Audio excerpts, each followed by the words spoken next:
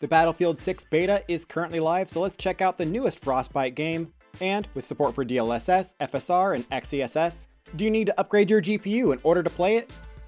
Due to the nature of the open beta, it's hard to get VRAM comparisons as well as side-by-side -side comparisons for the different quality settings, so we're going to skip right to the performance numbers, though we didn't have any issues with VRAM in our testing. And starting off at 1080p ultra quality settings, even the lowly RX 7600 was able to achieve above 60 FPS in our testing, which is good news if you have an older or slower graphics card. Cards like the ARC B580 and the RTX 5060 were both good for above 100 FPS, with the RTX 5060 Ti and RX 7800 XT both able to achieve above 150 FPS. But if you do need all the frames, you can get above 200 FPS with an RX 7900 XTX or an RTX 5070. With the reigning champion, the RTX 5090, able to achieve 314 FPS at 1080p.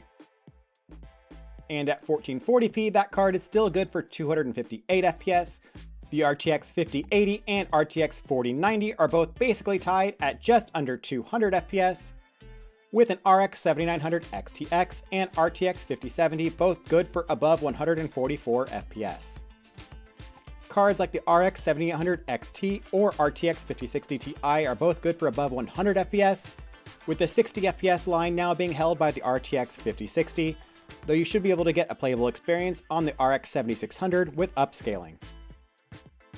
At 4K though, you'll need to use upscaling on most entry-level cards, with the 60 FPS line now being held by the RX 7800 XT, the 100 FPS line being held onto by the RTX 5070 Ti, with the RTX 5090 still being able to hold a respectable 168 FPS at 4K with ultra quality settings. But if you are looking for 150 FPS on other cards, you are going to need to resort to upscaling. And with the balanced preset, both the RTX 5080 and RX 9070 XT both deliver above 150 FPS.